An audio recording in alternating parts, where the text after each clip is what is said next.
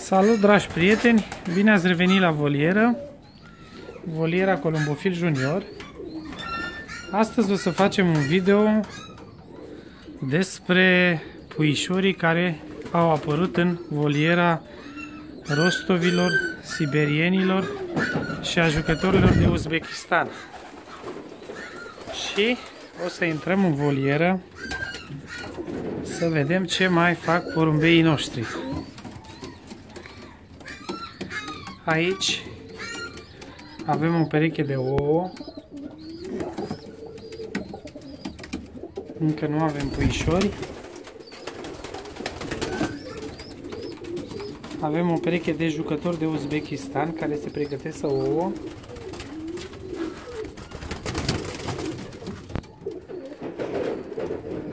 Aici avem toți jucătorii de Uzbekistan.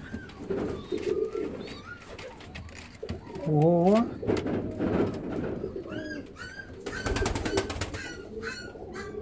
Avem jucători de rostov pe roșu. Și la boxa numărul 8 avem doi puișori de jucători de Uzbekistan. Și o să să luăm un cuibar să-i punem noi așa frumos, să-i putem observa. Și ia uitați, primul puișor de jucător de Uzbekistan.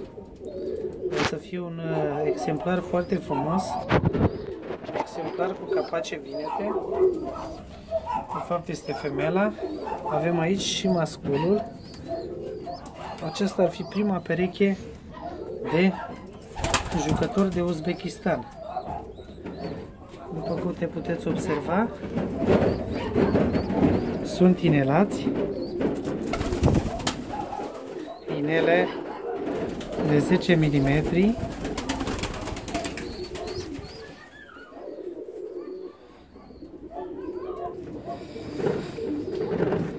Am pus pe pauză, am scos puișorii afară să putem observa cât mai bine. Așa cum vă spuneam, aici avem o femelă. O femelă care va ieși cu capace pe vânăt, iar masculul, după câte putem observa aici în spatele capului, și el are câteva pete pe vânăt.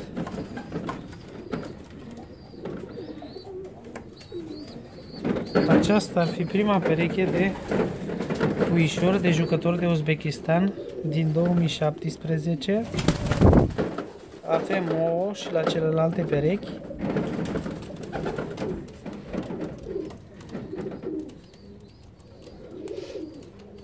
O să mergem să ducem puișorii la loc. Să luăm și o pereche de puișori de Rostov pe negru.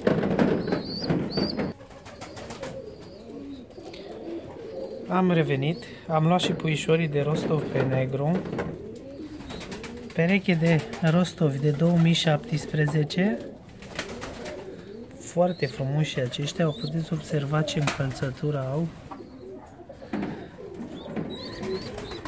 I-am inelat, i-am inelat și pe ei, cu inele de asociație.